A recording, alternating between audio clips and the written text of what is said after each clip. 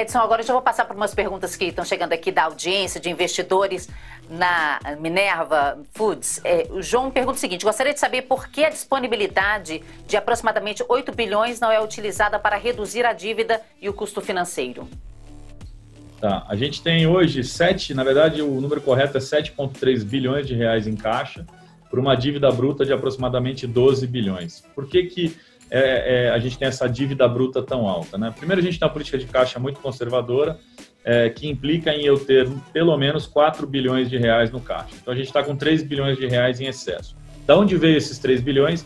Vieram da depreciação cambial. A gente tem uma política de hedge, Denise, que implica em manter aproximadamente 70% do meu caixa em dólares.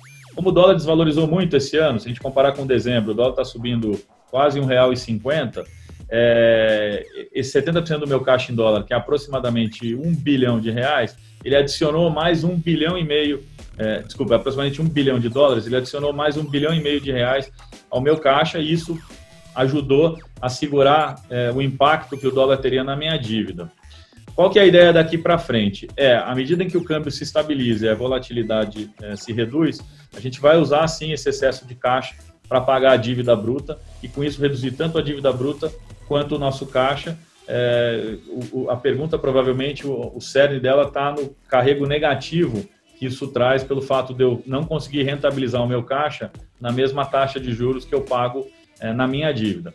É, mas mesmo assim, é, mantendo uma política ainda conservadora de caixa, de liquidez, a gente tem como objetivo abaixar entre 1 e 1,5 bilhões de reais ao longo de 2021 é, no nosso caixa e também na nossa dívida, é, para ter uma despesa financeira menor olhando à frente, sem abrir mão do conservadorismo na política de liquidez de caixa. É, Edson, é o seguinte, tem alguns investidores aqui reclamando que o preço da ação estaria muito travado. Eu, antes da nossa entrevista, eu estava é, verificando o preço da ação no acumulado do ano, a, a diferença assim não é tão expressiva. Mas o, o Lázaro está destacando aqui que a, o papel desvalorizou 40% nos últimos dois a três meses. Não sei se, se esse número queria bater até contigo. E o que, que a, é, a companhia poderia fazer para reverter isso? Olha, o que a companhia pode fazer, Denise, é manter, manter-se fiel ao business plan e a, e a operação e a eficiência de operação que a gente tem mostrado.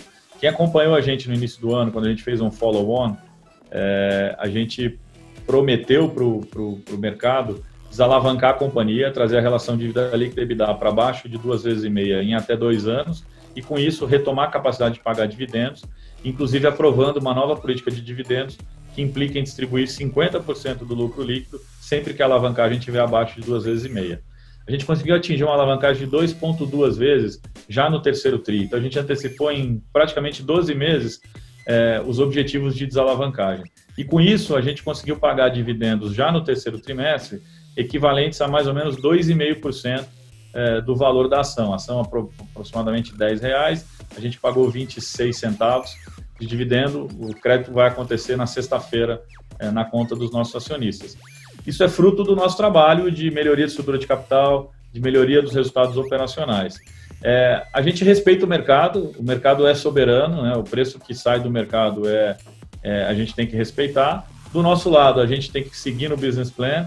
É, se a gente conseguir pagar 50% do lucro líquido é, em dividendos, fazendo complemento no início do ano, o dividend yield, quer dizer, a rentabilidade da ação, é, medida pelo retorno só do dividendo vai ser bastante atrativo, vai ser bastante elevado.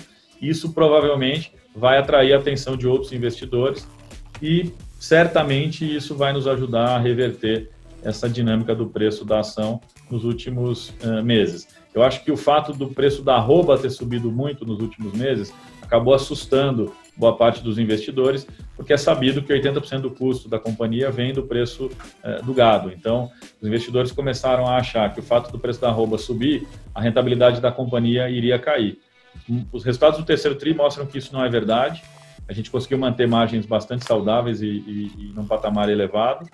E se a gente olhar a perspectiva neste cenário que eu descrevi, em que a gente continua tendo um poder de barganha muito grande, a gente vai ter capacidade de continuar repassando os aumentos de custo para o preço da carne. Isso vai implicar em manter as margens de rentabilidade é, em patamares saudáveis. Então, eu vejo que o mercado, na verdade, está dando uma oportunidade é, para os investidores, porque está meio que duvidando da capacidade que a companhia tem de manter as suas margens no ambiente em que o preço da arroba é tão elevado. O terceiro TRI mostrou que a gente foi capaz de fazer isso e a perspectiva é que a gente vai continuar nos próximos trimestres entregando resultados bons a despeito desse cenário.